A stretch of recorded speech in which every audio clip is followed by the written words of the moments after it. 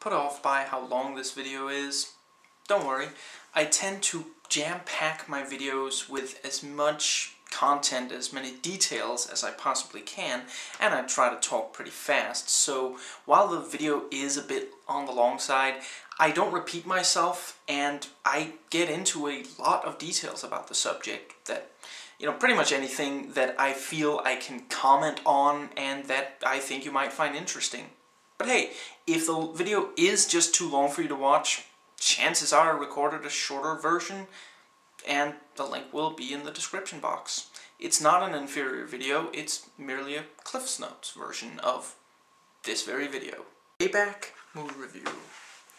Porter makes his living outside of the law. He rips off banks and payrolls. Not too big stuff, so when one heist only returns 140 grand and his partner, who had agreed to only go away with half, needs 130 for the outfit, the the crime syndicate that he wants back in. Porter finds himself double-crossed by his partners. Shot in the back and left for dead. When he returns, everyone expecting him dead, he wants his money back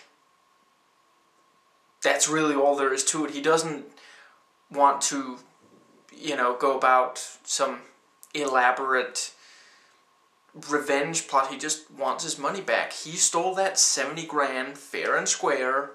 The money is his, and he wants it back. And the fact that the money has been spent on a criminal syndicate, tough. This is just a an excellent neo-noir thriller, you know, and actually you could almost call it an action movie because there's certainly plenty of stuff that goes on. Mel Gibson is just perfectly cast in the lead as Porter. He just, he narrates on occasion in the film, it's not that frequent, and, and even when he's just talking in the movie, just his voice just that gravelly kind of quality to it. You know, this is the kind of movie that inspires games like Max Payne, and this really is the movie that the Max Payne movie should have been. The dialogue is razor sharp throughout. Every line is brimming with just snark and cynicism. Everyone, every single character in this movie, everyone in the environment that this, you know, takes place in and that it quite nicely establishes and you know maintains is just a complete hard ass and just there are no good guys here you know I suppose you could say there are some genuinely bad guys, but there's definitely no good guys. You know, our lead is an anti-hero. You know, he beats up and tortures his way up the food chain to find out where his money went and how to get it back. You know, this is not, you know, he spent the first 10 minutes of the movie, you know, flat broke, just robbing people, basically, to get by, you know. And, you know, but he's, he's smart about it. He does it real subtle and somehow, in spite of every character being just, you know, it just, I don't know how they do it, but it never actually gets tiring. It's not like you ever think, okay, I've had enough of these macho dudes, you know.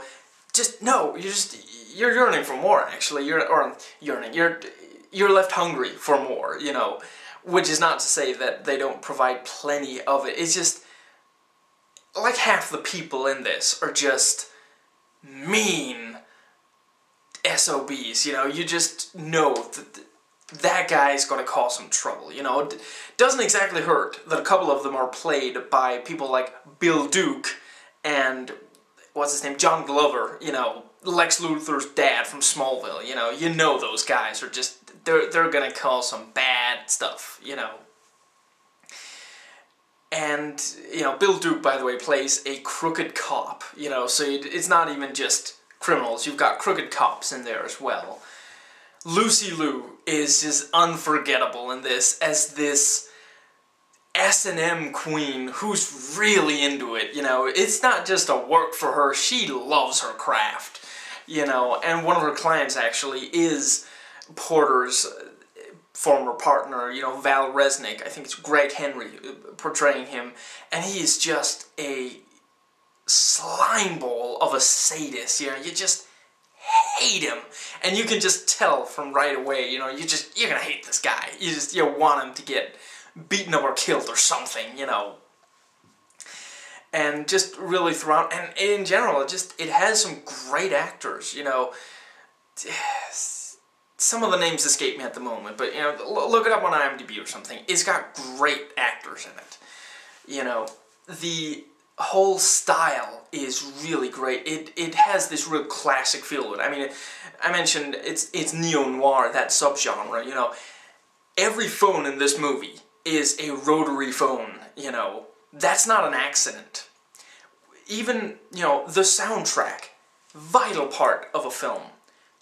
I don't think there's a single song in this which was produced after the 70s. If there is, I couldn't tell you know, and actually fits in several James Brown pieces, you know, so, yeah, this movie has taste, you know, and at the same time it's actually almost distastefully violent and, you know, sick at points. It definitely is a very disturbing film. Again, neo-noir, you know, it goes the whole, you know, like I said, it is this environment, you know, and do note that you don't only see, like, just worn down buildings and horrible neighborhoods. You see some nice neighborhoods in this, but that doesn't mean that they're not, you know, full of crime and kind of, you know, like if you see something really expensive in this movie, you feel like the guy who owns that didn't earn that money legally, you know, just, it, it, there's that real sense to it.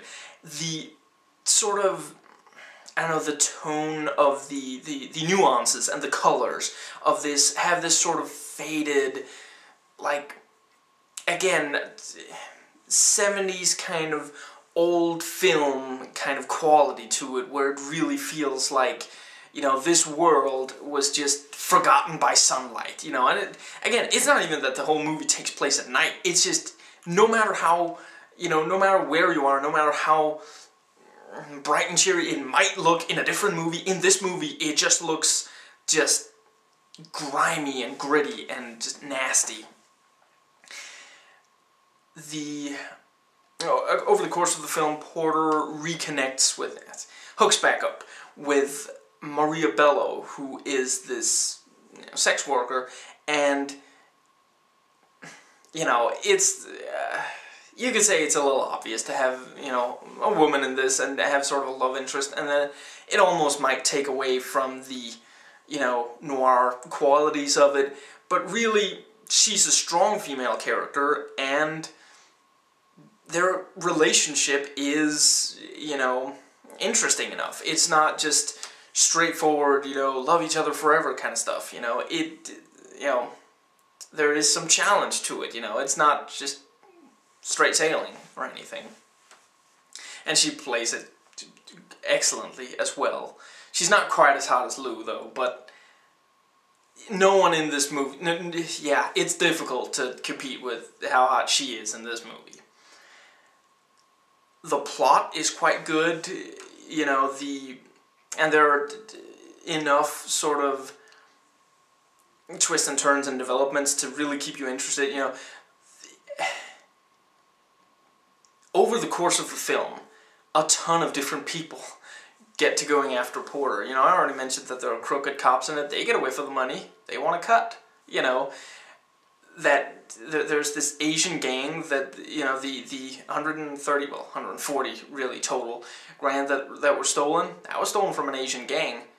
You think they've forgotten about that? They haven't. You know, and yeah, so over the course of it, they just all of these different you know groups and people that want Porter and or want his money and or want him dead, and he has to somehow take care of all of them, you know. I suppose that pretty well covers it. But yeah, just a really gritty neo-noir, very classic feel to it. You know, very effective. You know, I, I talk about the violence. It's it's not fun violence. You know, it's the kind of violence where you're really, you know, sympathizing with the person hurt and really going, oh, that's gotta hurt, you know, stuff like that. And it's actually, you know, I know it's surprising with Mel Gibson being in this. You might think it's, you know, sort of pornographic, but no. And yeah, I suppose that's pretty much everything that, yeah, just excellent film, you know, stands up to several viewings. If this is at all what you're into, go watch it right now. Please rate and comment, and hey, if you like this video, that subscribe button's just waiting for you to click it.